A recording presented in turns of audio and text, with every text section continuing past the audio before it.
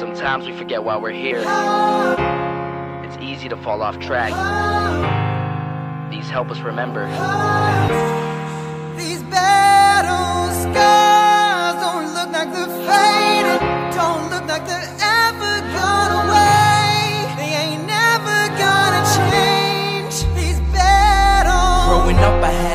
something no one else could see. Tell me what it means when your faith is falling beneath your knees and you can't breathe. Everything you see reminds you of what you're not or something you won't be. You gotta take what you're given, that's how we live it. Don't be mad at the system, it's simply how we've existed. I hear a lot of people talking like they politicians and choose to be an accountant because it's safe in a business. Not because they wanna do it, just because they heard it pays. And who the fuck wants to be poor knowing that's how we've been raised? Society is getting heavy, I can feel the weight. The pressure of success is like a hundred million pounds of shame. And that's the reason I'm staying up late, trying to find a way to escape the stereotypes this day and age is making me feel like the only way I'll be happy is getting signed to a label and making money through rapping. I wanna share my emotion because this world is attacking the very principle of life that lets the people be happy.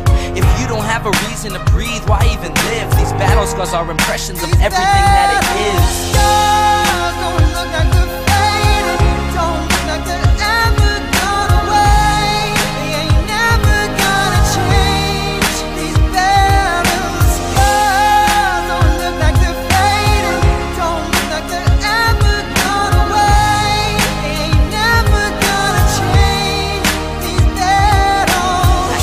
A voice that reached a hundred million people, I'd tell them there's a reason that we're all created equal. Cause some decide to be great and some decide a sequel to an average person's life is simply what they want to be. So you make your decision, all I know is what I'm given. Won't define the life I lead or the way I dwell in existence.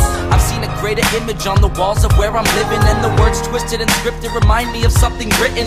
Faith gift that is given down to the people. If one believes it, one receives it. It's given if it is needed.